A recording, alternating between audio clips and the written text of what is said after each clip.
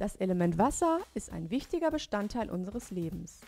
Täglich tritt man mit dem Medium Wasser in Kontakt, ob beim Duschen, Schwimmbadbesuch oder im Urlaub am Meer. Um Kinder schon früh daran zu gewöhnen und das Unfallrisiko bei Aktivitäten im und am Wasser zu minimieren, ist es wichtig, sie bereits in jungen Jahren an das Element zu gewöhnen. Und dafür wurde das Wasserkieberts entwickelt ein Persönlichkeitsabzeichen, wo Wertschätzung und eine individuell erbrachte Leistung im Vordergrund stehen.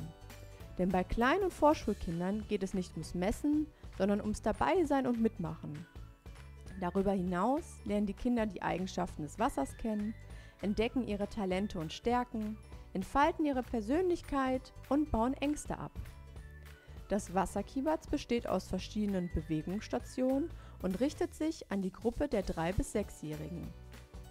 Da die Entwicklungs- und Könnensunterschiede in dieser Altersspanne sehr groß sind, wurde bei der Entwicklung darauf geachtet, die Aufgaben so zu stellen, dass sie von allen Kindern gelöst werden können. Die Bewegungsstationen sind auf die fünf Entwicklungsbereiche des Kindes abgestimmt. Das sind der motorische Entwicklungsbereich, in dem es um Kraft, Ausdauer und Beweglichkeit geht. Der sensorische Entwicklungsbereich umfasst den Tast-, Seh- und Gleichgewichtssinn. Beim psychisch-emotionalen Bereich lernen die Kinder ihre eigene Leistungsfähigkeit und ihren Körper kennen. Zum sozialen Entwicklungsbereich zählen das Einfühlungsvermögen und die Rücksichtnahme. Und zum kognitiven Bereich gehören das Erinnerungsvermögen und das Einschätzen von Situationen. Das Wasserkieberts ist wie eine Art Parcours aufgebaut. Bei der Erstellung des Parcours kann aus 20 Bewegungsstationen gewählt werden.